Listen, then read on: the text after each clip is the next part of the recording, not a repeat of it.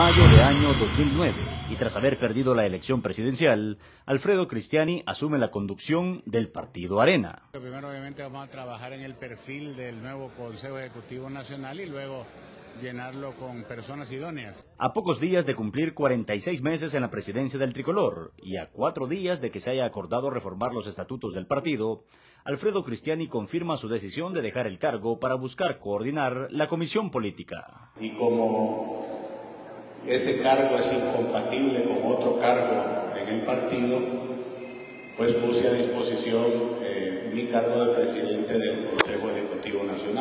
Sin embargo, los cambios en el COENA no quedaron ahí, y es que Ernesto Mason asumió la vicepresidencia de Ideología, Celina de Ávila la dirección ejecutiva, Gerardo Subillaga ingresó a la dirigencia y asumió el rol de director de asuntos políticos, y Jorge Velado se convirtió en el nuevo presidente del COENA. Vamos a trabajar durísimo, este es un COENA que va a tener tal vez como característica principal que es un COENA de campaña, a minutos de haber sido confirmado en el cargo, Velado enfáticamente señaló cuál es su principal apuesta en el cargo. Mi principal objetivo, obviamente, es llevar al doctor Norman Quijano a presidente de la República en la primera vuelta.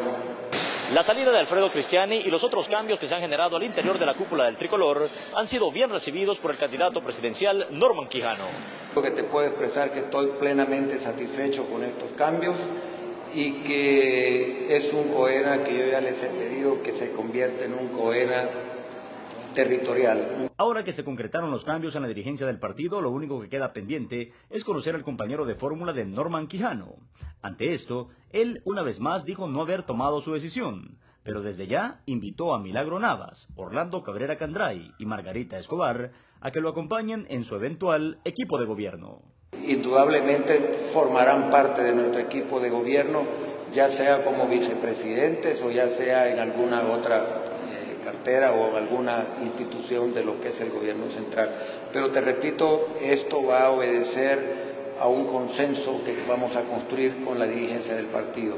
A esta fecha sigue sonando fuerte el nombre de René Portillo Cuadra para acompañarle en su esfuerzo por llegar al Ejecutivo, pero esto tampoco lo confirma ni lo descarta el aspirante a la primera magistratura de la Nación por el tricolor.